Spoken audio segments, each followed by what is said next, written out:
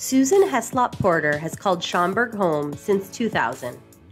Retiring in 2016 from a 40 year sales career in the promotional products industry, Susan sought out opportunities to support businesses and residents in her community.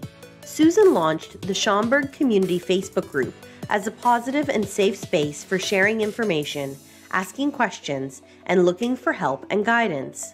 Thanks to donations from community members, gift cards and prizes were bought, and raffles and contests were held to raise an impressive $6,000 to support struggling businesses and over $10,000 for the local food bank.